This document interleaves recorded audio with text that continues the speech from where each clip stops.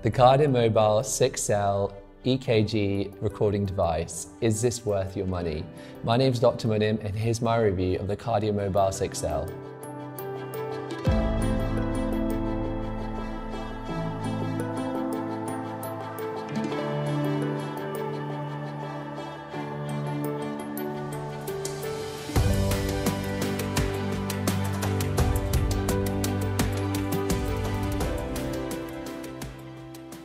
Well, the answer is potentially yes. It depends on why you are buying it. Are you using it to screen yourself from heart related problems?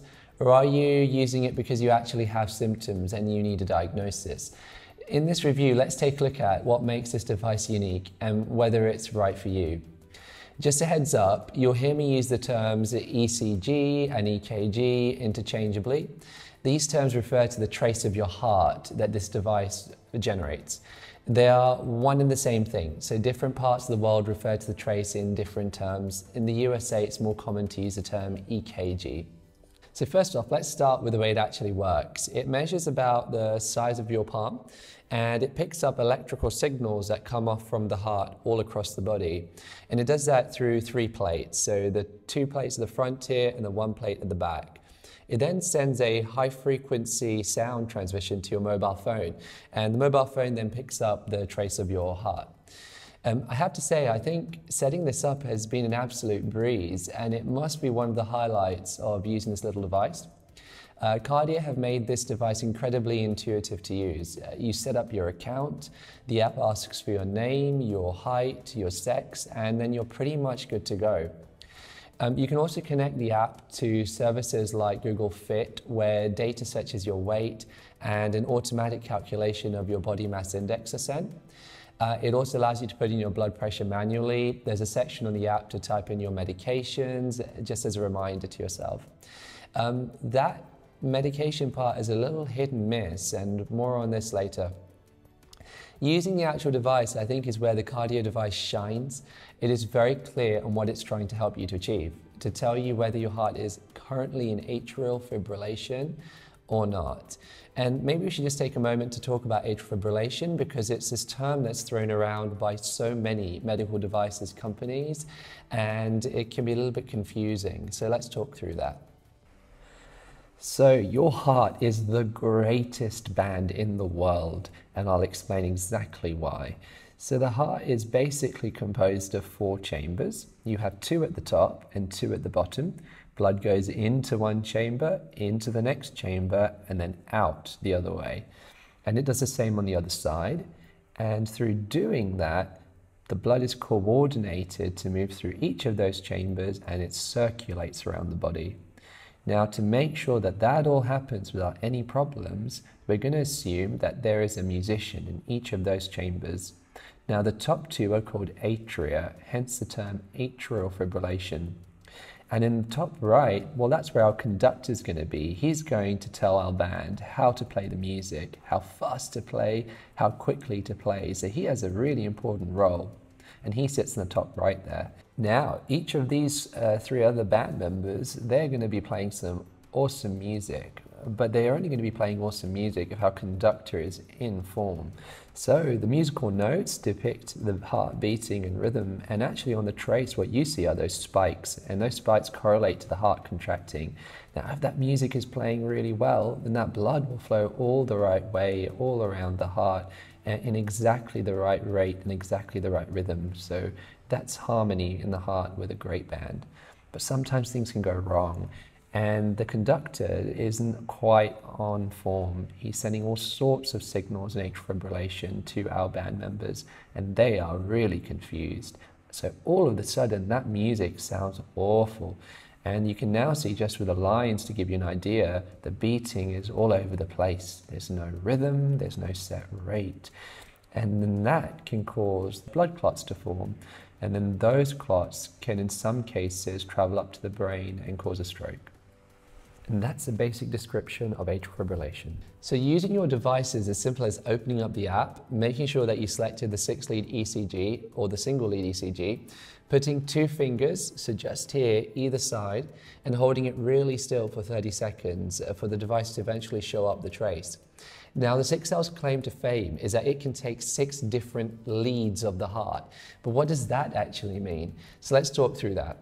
So the term lead is actually a slightly confusing one, but for the purposes of this, I want you to understand a lead to be a view. It's a view, a snapshot of one part of the heart itself. And the more different views you get, the more information about the heart you get. So when you have six different views or six different leads, then you get a much greater idea of exactly how the heart is beating than if you were to only look at it from one side. For the six lead ECG, it tells you to touch your knee or your ankle, and I found that a little bit buggy. On my knee, it was rarely picking up the trace properly, but on the ankle, it was totally fine. I wonder whether it's actually related to um, hairy, hairy legs. Um, so if you've got hairy knees and hairy ankles, you might have a problem unless you wax them. So once the trace is done, it will tell you whether you've got a normal rhythm or whether it's atrial fibrillation.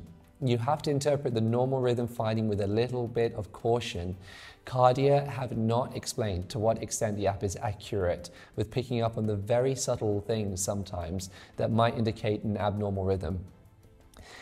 So this highlights one of the most important aspects of using devices like this. If you have symptoms, always consult with a trained healthcare professional and do not take this device's findings as gospel. Although the device's focus is on helping to diagnose atrial fibrillation, I think the trace itself can give a trained healthcare professional a lot of useful data, um, a lot more than I had initially realized just by looking at the box on the outside. Kardia does let you send your ECG to a trained physiologist or a physician for a charge, but frankly, if I was worried about some heart related symptoms, I would want to consult directly with a trained healthcare professional. Um, they might need to examine you, have a listen to your heart, check your vitals. And so many times, diagnosing heart related problems is taking the whole person into account with multiple different factors. It's not just the ECG or EKG alone. A really neat feature of the app is that it allows you to email a password protected version of the ECG to your own physician of choice, which is a nice little touch. There is also a premium service, and this currently allows you to store your data in the cloud. It covers you for replacement devices should you lose it, though not in all countries. And it will trace your medication and also give you a personalized monthly heart health report. One of the least impressive features of the premium package is medication tracking. It felt cumbersome to use, and at the moment, it's really targeted towards the US pharmaceutical market, from what I can tell.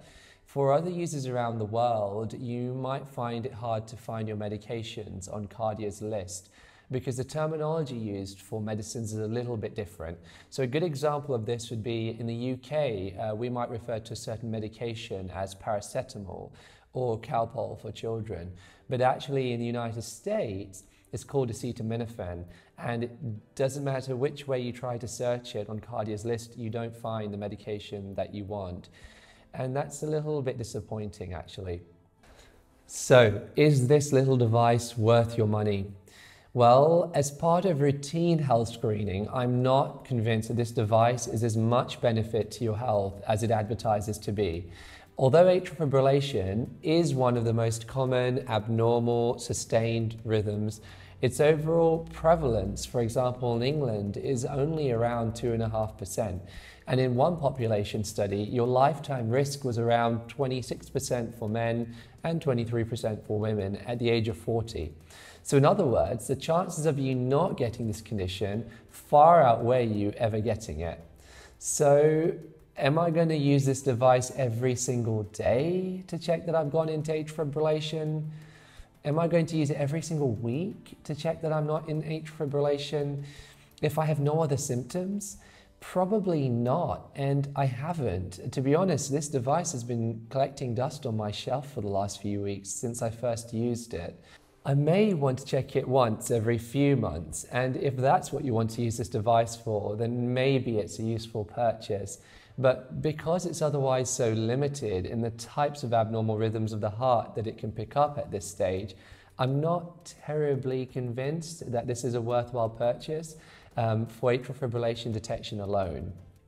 Where it does come into its own, though, is in people who may be experiencing symptoms suggestive of having abnormal heart rhythms, like atrial fibrillation. And some patients, for example, might get palpitations, the feeling that the heart is uh, running too fast or too slow or skipping a beat. And certain abnormal rhythms can be really difficult to pick up on in an otherwise completely healthy individual because the abnormal beating is so fleeting, it just comes and goes very quickly. So, to be able to capture the electrical activity of the heart from six views in a moment is incredibly useful and actually could be really helpful in helping your doctor clinch the diagnosis. To reiterate, if you are getting heart related symptoms, then your first port of call should be to seek medical attention and not to self diagnose using this app or this device. Get medical advice and then, under the advice and guidance of a doctor, use this device. Remember, there are a growing number of devices out there now that will measure your heart's electrical activity, but few will measure it from so many different angles so quickly and so easily and this is where this device shines.